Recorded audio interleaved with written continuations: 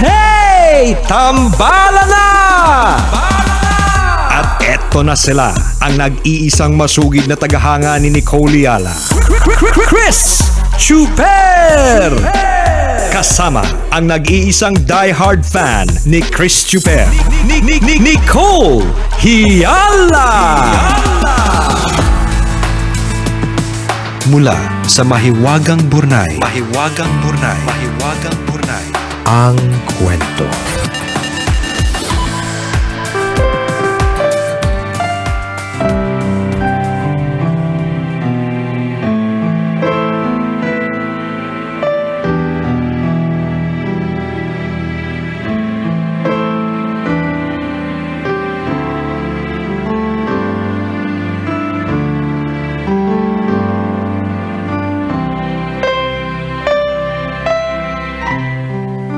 Dear Nicole and Chris, Itago niyo na lang ako sa pangalang Alona. May asawa at anak at tubong Ilocos Sur. Tambalanista na ako 2005 pa. Araw-araw akong nanonood ng segment ninyo sa Facebook. Sumulat ako para ibahagi ang aking karanasan sa buhay baka sakaling kapulutan ng aral ng mga listeners ninyo. At sana naman ay huwag akong i-judge ng mga kapwa ko tambalanista. Malungkot na taon ang 2012 para sa akin. Stressed ako at depressed. Dahil hindi boto sa akin ang biyanan ko para sa anak niya, palagi akong nakakarinig ng masasakit na salita. Malayo ako sa sariling mga magulang at mga kapatid kaya pakiramdam ko, wala akong kakampi. Kahit yung asawa ko, hindi ako kayang ipaglaban. Dinaan ko sa inom para makatulog ako sa gabi. Isang araw nag-text sa akin si Ino yung ex-boyfriend ko. Kumustahan muna at konting kwentuhan hanggang naging araw-araw na kaming magka-text. Magaan sa pakiramdam na may nakakausap ako. Lumalim ang ugnayan namin at naging kami ng palihim. Tanggap ni Ino na may asawa ko. Paminsan-minsan, nakikita kami at may nagaganap sa amin. Ko, Ito pa, partner. anong nangyari? Tumagal ng 8 years. Saan sila pumupunta? Ayun na nga. Ilang oras daw? 3. Aircon? Mm, minsan, depends sa budget. minsan, pag 150 lang, electric fan lang. Alam na alam, ah. kwento lang yun sa akin. Tumagal kami ng 8 years. Nabuntis ako ni Ino. Nang mga anak ako, apelido ng asawa ko ang ginamit ko. Hindi alam ni Ino kasi baka magkagulo at mabuko kami.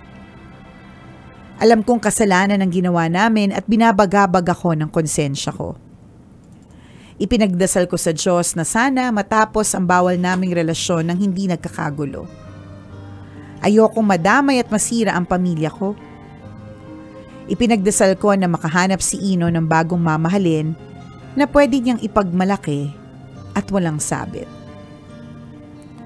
Eventually, nasabi ko na din kay Ino na hindi ko ipinangalan sa kanya yung anak namin. Galit na galit siya at pinagsalitaan ako ng masasakit. Hindi niya ako kinausap ng ilang buwan. Isang araw, nakita ko na lang sa FB na may kasama na siyang girl sa profile picture niya.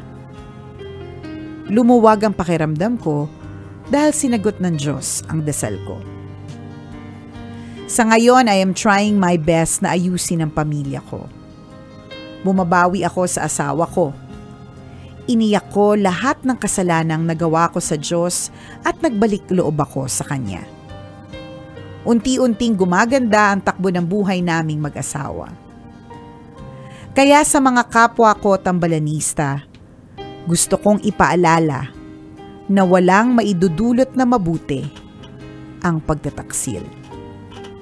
Salamat tambalan sa pagbasa ng aking sulat.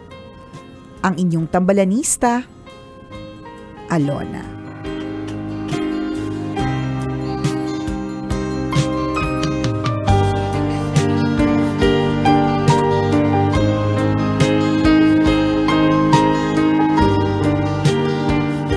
I think uh, batchmate natin to, partner. Mga Bakit? ganyang pangalan, Alona. Alona. Or mas, mas tita pa sa atin. Grabe siya sa mastita pa sa atin. Alona yung mga ganyang Ayan. pangalan. So 80s, So, no? 80s. Pero sikat na pangalan dati yan. Oo, tapos yung ano niya pa, yung uh, ginawa niya si Ino. Oo, di ba? So 80s. So, 80s, o, di ba? So, mas- batchmates tayo. Batchmates or older. Oo. Oo. Ayaw pumayag. Ayaw. Doon tayo sa older siya. Anyways, ah, alam mo, um, um, Alona. niya, Alona. Naghang kasi ko sa FB. Na, nadamay tuloy sa totoong buhay. Oo, naghang tuloy utak ko. Bakit lagi naghahang yung mukha ko sa FB? Tapos sa mga moments pa na parang alanganin. Oo. yung hindi ka maganda. Hindi ka no? talaga maganda yung ganon. O anyways, yung uh, yung uh, eksena mo Alona is actually ano na, a story of uh, victory. Kasi uh, victory kasi bakit? Um uh, natuto ka. 'Di ba? May lesson na, na na-impart and in the end, you did the right thing, which is to let go of the person. 'Di ba? Totoo naman yung sinabi niya ni Alona na isang paalala para sa lahat ng mga tambalanista na wala pong ah, maidudulot na mabuti ang pagtataksil. Taksil! Taksil! Ano ko tinamaan na. Kabets left the group. Pinatay ang radyo. Ayan na. Di ba? Umalis na po sila. Ayan. Tinapon ang cellphone Correct, habang di ba? nanonood ng FB Live. Nagalit pati siya. Kinain ang charger. Nayamot. Sabi niya, ako na naman ang pinag-uusapan Oo, ninyo. oo, kami na naman ang topic. Nako. Shoota. Anyways, wala naman talaga mabuting maidudulot. Sobrang makakagulo. Mm-mm. 'Di ba? Kaya yung mga iniisip ninyo, eh mahal ko siya, Kenneth. Ayun na naman po yung paghang ng mukha ko na parang kalanganin ng pangit po sa Facebook. Nakakalurky, 'di ba? Yung wala naman talaga siyang magandang madudulot eh. Makakagulo ng isang pamilyang nananahimik, nakakapangit kasi lagi kang problemado, lagi kang stress, lagi mo siyang iniisip. At syempre, nako, minus point sa langit. Kasi nakalagay nga, 'di ba? Huwag kang magtataksil. Oh. Correct. Ganyan, huwag kang makikiapid. Oh. Nako. 'Di ba? Tapos ginagawa. Ganyan. Kasi yung iba, di ba, ilan ang, ilan ang utos ng Diyos, partner? Ewan ko. Diba? Basta ang masasabi ko lang, ang Diyos nga, sampu lang yung utos, yung nanay ko 58. Ang dami niyang utos sa akin. Nakakaloka minsan yung nanay ko. O anyways. Di ba, sampung utos, wag kang makikiapi, di ba? Oo. O, Mahalin mo ang iyong asawa, mga Yan, ganyan. ganyan. Palibhasa, yung ilang mga tao dinadagdagan. Ay, naka. Oo, sinasabi yung panglabing natin eh. sabi nila, may, may utos daw. Eh, Ano daw? Inventaw na lang nila. Oh, ano Siyempre, yung- wala nitong, ano, wala talaga to sa sampung Oo, utos. wala, wala. Ano daw yung Pero- ano, yung pang ah, Panglabing isa. panglabing isa. O huwag kang magpapahuli. Ayan na nga sinasabi natin. eh. Yung mga naniniwala Yan, sa, yan, sa yan. pang 11th commandment na huwag ka magpapahuli. Yan. Nako, Minus nako, points kayo sa langit nako, niyan. ang masasabi ko lang sa, ay, eto, ay, masasabi ko lang sa inyo ha, mga kabisyo, kayo-kayo na ganyan mag-isip. Oo. Kayo-kayo sa dulo, nako, kita-kits na lang po sa finish line. yung mausok, yung mainit, Ayan, may naglalagablab. yan. Kaya kapag halimbawa mga katari, katirikan na ng araw, ang gagawin mo, labas-labas ka na. Practice, practice, ganun. Yung yung tipong- mga naniniwala na may pang, pang ah, labing isang utos, oo, Oo. yan na yun. Nako, ngayon pa lang, tinan mo, bare months ngayon, di ba, partner? Isipin mo, oh, malamig naman yung panahon, pero init na init ka. Ay, naku, alam. Pinagpapawisan ka. Yung parang Di ba ala- yung ang init sa batok ka? Oo, yung parang, tsaka yung parang di ka mapakali, partner. Oo, ganun. Ay, naku, palabas na yung buntot. di ba? Hindi pag ganun, bumubulong na sa'yo. Ayan na, may pagbulong na nga. Mainit yung likod mo. Malapit-lapit na. Nako, kinukuha ka na. Nako, patay tayo dyan. Hindi dapat gawin. Oo, wag so, ang, kaya gagawin, ko sinasabi that this is a story of victory kasi nanaig pa rin ang kabutihan which is the the kabutihan in the story is that tapos na yung ano, tapos na yung ah, pakikiapid, tapos na yung pagtataksil. Hindi na Mm-mm. dapat na itunu- itunuloy. I- hiningi na ng pagpapatawad at utang na loob kahit may mga problema ka sa family, Alona, wag namang ulit kumate para sa iba. Yan, wag na magpadala ulit sa tukso. Medyo na ano nga ironic yung sinabi niya kanina sa ang ah, ang statement niya, ayoko ng gulo. Ayaw mo pala ng gulo eh. Pero Ah, eight years oo, kayo. oo. Eh di wow. Ay, ito na nga. Tapos si- message kayo ng message sa isa't isa. Partner, so confirm Oh. na si Alona ay sumusunod sa 11th commandment. noon. Binawi, binawi. sa 11th commandment noon. Noon, na Oo. buti na lang, ah, nabago na. 'Di ba? Talagang sumunod sa tamang utos ah, Correct, na diba? wag makikiapid. ah. Tama. Hindi dapat natin yun na gagawin, kabisyo. Correct, totoo yun, no? Tama naman, na sobrang linaw ng sinabi sa atin ni Alon na walang magandang maidudulot ah, sa pamilya ang ah, pakikiapid o ang pagiging kabit. ah. Yes. 'Di ba? Kumbaga, ang ganda ng isipin mo, yung bahay ninyo ang ayos-ayos naman. Matiwasay kayong namumuhay diyan, nagtatawanan kayo ng mga anak mo, nagkwekwentuhan kayo, komportable kayo nagsasalo-salo sa hapon. Correct. May mga problema pa minsan-minsan. Oo. Nangyayari talaga yun. Diba? Tapos kom- komportable kayo nagsasabi ng mga saloobin ninyo, problema ninyo. Tapos biglang isang araw, may, may pumasok na kabit. Ayan na nga. Siyempre, nasira lahat yun. Nasi, yan tawag doon, nasira yung dynamics ng pamilya Tama. ninyo. Na parang nagugulo pa konti-konti. Kasi nagli- unang, pa- unang gagawin mo dyan, siyempre, Patakas. Patakas. So, hindi ka na present sa mga gatherings. yan. Yan. Pag magsiselfone ka, nasa loob ka na ng banyo. Correct, alam na alam diba? natin yan, mga ganyan. Oo, bakit, bakit ang dami mong alam? diba? Ito yung pinayo mo sa akin Ay, eh. hindi ako yan. hindi Diba? ako yan. Kamukha ko lang. Kailong ko lang yung partner. hindi ako yun. hindi, pero totoo. Diba? Magugulo talaga lahat. Correct ka. Mag- Time management nung may magugulo. Yan. Lagi na yan magsisinungaling. Yan. 'Di ba? Tapos ah, yung yung mukhang guilty, yung mukhang nata, natatain na hindi mo maintindihan, mukhang guilty. Yung parang Oo, laging lagi aligaga. may tinatago Oo, eh. ganyan. So, isipin mo, hindi So ka- masisira. Correct. Oo. ah. so sa totoo, again malinaw yung pagkakasabi sa atin ni Alona na walang mag- magandang maidudulot yan. Akala lang natin no, masaya. Yung 3 hours na nakita mo yung kabit mo. 'Di ba? Nakita ko sa sa mall, nagkape kayo ng patago. Akala mo Correct. masaya yan pero hindi lagi. 'Di ba? At the end of uh, the line, na, nako, ayan na nga makikita-kita kayo Sa sa, isang finish line. Oo. Diba? Sa Sama-sama. mainit na labusan. Correct. Oh. eh total naman sanay ka sa playing with fire. So Oo, ayan oo, na. sa bagay, oo nga naman. Naglalaro ka sa apoy ah. O Gusto eto mo ba ka, yan? Gusto mo eternal flame. Oo, Oo. ba?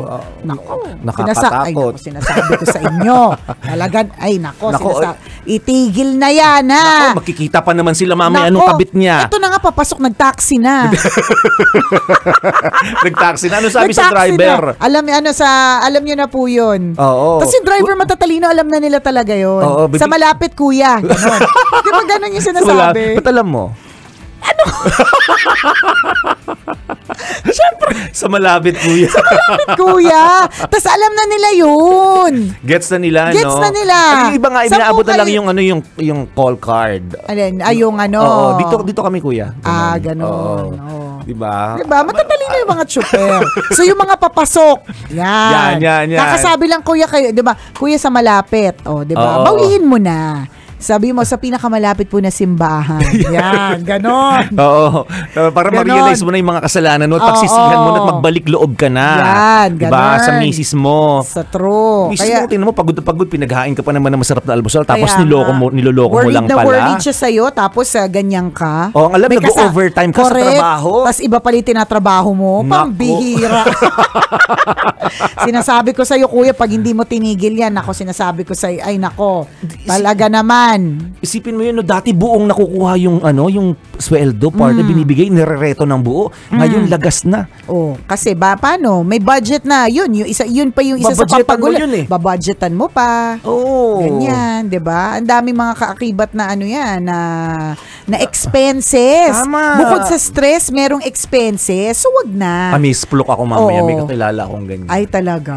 Oo. Sa Facebook live mo Talaga. Joke lang. Sino 'yon? Splok Joke mo na lang. yan! Charot lang, joke lang. O siya, wag makiapid. Wag magtataksil. Yan ang paalala ni uh, Alona sa kwento ng mahiwagang burnay. Muli ako po si Nicole Ala. At ako naman si Cambio King Chris Chuper. Na nagpapalala, walang matatag na relasyon sa malanding may determinasyon. Yun. Yun. Love Radio.